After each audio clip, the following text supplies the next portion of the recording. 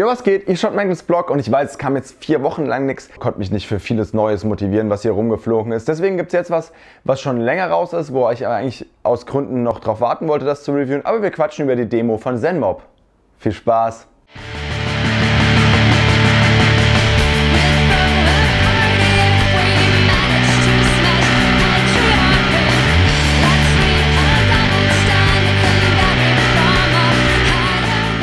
Die Demo von ZenMob kommt mit sechs Songs daher, geht 16.30 und ZenMob macht einen ganz fantastischen Punk, Pop-Punk, der klare feministische Ausrichtung hat. Hier und da hat er so ein bisschen ne, so eine Indie- äh, Einschlag, gerade was Bass- und Gitarrensound angeht.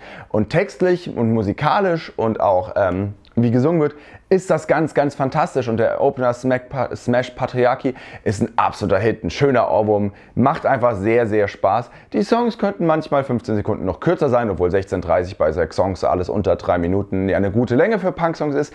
Der einzige Wermutstropfen und weswegen ich diese Platte eigentlich auch nie oder noch nicht gereviewt habe, ist, das Ding ist eine Demo und die Produktion ist wirklich, wirklich nicht gut und lässt an vielen Stellen echt zu wünschen übrig. Manchmal versteht man dann leider den Text nicht. Das ist ein bisschen schade, wenn ihr es downloadet, klingt es tatsächlich ironischerweise besser, als wenn ihr es über Bandcamp abspielt. Das ist mir noch nie so krass aufgefallen oder mir noch nie passiert.